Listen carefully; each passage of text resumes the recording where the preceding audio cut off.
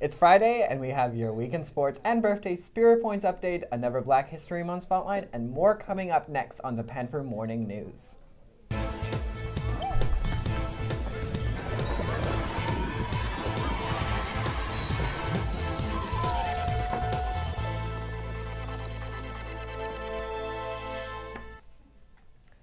Morning, St. Mary's. I'm Colin. And I'm Mark. And we begin this Friday with student life news. What a crowd last night at the Winter Music Concert. Thank you to the fabulous student musicians for such great performances. If you didn't see the show, follow the link on the school website and capture the moment for yourselves.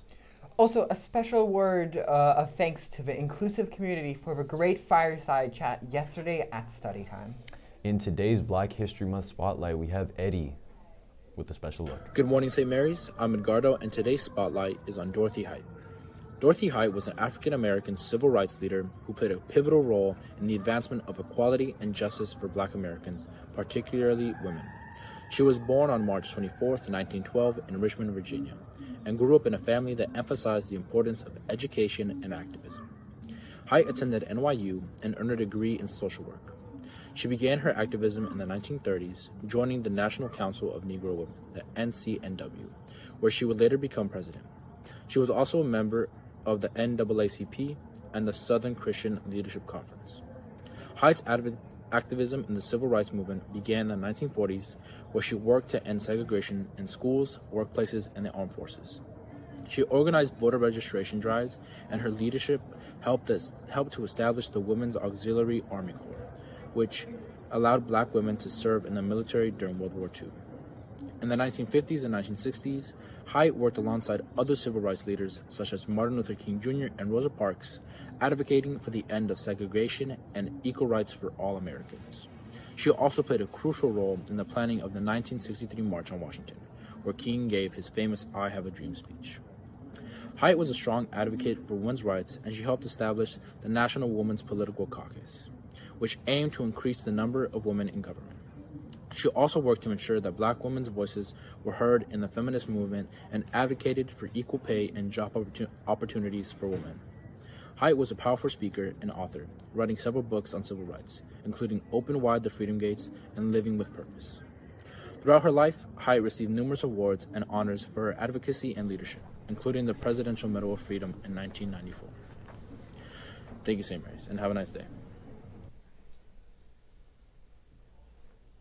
Thank you, Eddie. And hey, Panthers, thank you all who participated in Spirit Point dress up and activities this term. Uh, here are the final Spirit Points totals for this trimester. In fourth place, freshmen came with a total of 120 points. Impressive, but unfortunately uh, not good enough. Sophomores in third with 145 points. In second place, we have juniors with 175 points. And in first place, the seniors with 185 points. Let's go! Congratulations to our seniors, and with this win, you will get relaxed dress for the remainder of the term. A quick reminder that club photos for the yearbook are due today, so make sure to submit your photos to Georgia Rogers. And now, here is Devin with your Panther Athletics. And today in sports, varsity softball is at Piedmont with a 2 p.m. early dismissal. Both baseball teams play over at El Cerrito, and they have a 2.15 p.m. early dismissal. Then tomorrow, it's another soccer Saturday with some hoops to top it all off. Both soccer teams have a 2 p.m. start with the girls battling number 2 seed Urban over at Beach Chalet, number 1 over at Golden Gate Park. The boys will host Healdsburg for a ticket to the NCS semifinals. And then tomorrow night at 7, the girls basketball team heads over to Dominican University in San Rafael to take on number 2 Branson. We will have ticket information on the front page of the school website. Now back to Colin and Mark.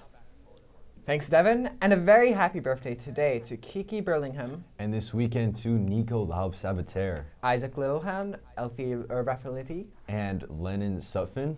Additionally, also Miss Howe. And Mr. Schaefer. Happy birthday to ya. Happy birthday to ya. Happy birthday to you. Uh, it's a pizza day and more for lunch over in the Shea Cafe. Join us Tuesday as we start Task Teacher Season 3 Enrichment Week Travel Adventures. And that's it for today. Have a great President's Day weekend, St. Mary's. Go out and support soccer and basketball tomorrow. And make sure at this time, follow the link in your email to complete the course evaluation for your fourth period class. Have a fabulous weekend, St. Mary's. Sparkle on St. Mary's.